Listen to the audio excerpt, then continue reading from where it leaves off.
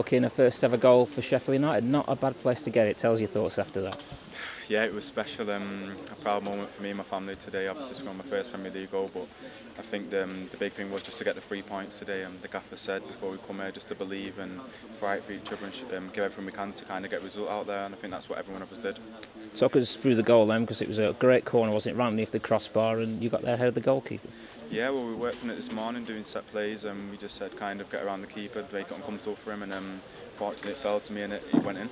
And to get the start today, you know, you've had one or two appearances this season. You know, it's been a good season for you in terms of breaking into this side, but to start at Old Trafford, that's on a different level. So that, that must have been a wonderful experience for you.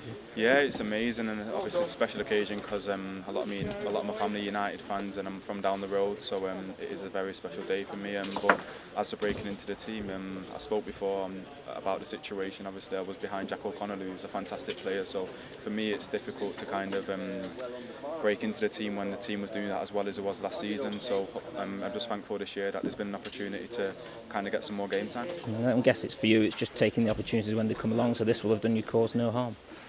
Well, yeah, definitely. Um, it's obviously the, the goal helps, but um, I think it's more about how I play in, in, the position. And obviously today I was asked to play left wing back, and I'll play wherever it, it, it, wherever um, I can across that back line. Um, and I'm just happy that I could contribute today. Tell us what it was like in the dressing room after the game, because I would imagine, you know, after one or two difficult moments this season, then that would have been a, a very happy place to be tonight. Yeah, it's, it's a happy dressing room in there, but I'm sure it'll be um, back to the drawing board tomorrow when we get to training, and the gaffer will have us preparing for the big game at the weekend, and then obviously the, the next game, which is West Brom at home. Um, it's obviously a, a very hard schedule at the moment. We've got a lot of games coming up, so we just need to kind of recover tomorrow and go again for the weekend. You obviously had to come off, so what was it like watching in the last 15 minutes or so as we hung on for uh, that it's worse than being out there, I can tell you that. Um, it was nervy when the goal went in, when their goal went in, but um, obviously Burkey stepped up and got us a winner, which was which was good for him as well. From a personal point of view, do you feel you're becoming more and more settled at the more game time you get in, in this Sheffield United side? Well, yeah, for any player that um, goes to any football club, you want to be playing football. So for me, obviously, as, just, as I just said before, it was a difficult situation um, when I was behind Jack O'Connell because we all know how good he is. But now it's um, time to step up and show what I can do. Four wins from five. There does seem to be some momentum building now. it's a tough game on Saturday, but it looked like you're going to make a real fist of it in the second half of the season now. Yeah, well, we've just got to fight for every game. Obviously, we knew it was going to be a difficult challenge coming here tonight. We know on Saturday it's going to be a difficult challenge, but um, like I said earlier on in the interview, it's the gaffer tells us to fight every game. Um, in every game, that's why we're in this league. We deserve to be here. Um, obviously, this season's points tally isn't good enough, and we need to try and work to better that. But hopefully, things can start to change now.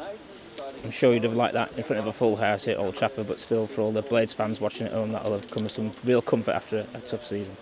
Yeah, obviously football's just not the same without fans, but um, at least it's it's still going. Um, I'm sure we all still want it to go ahead, even though the fans can't be here. We're going through a difficult time at the moment in the world, um, but hopefully um, the, the fans will be back very soon. And who will you be speaking to now after after this interview? I'm sure there'll be one or two people from home who want to get in yeah, touch. Yeah, I've already sent my girlfriend a message, um, and obviously I'm going to speak to my family and obviously enjoy the moment tonight.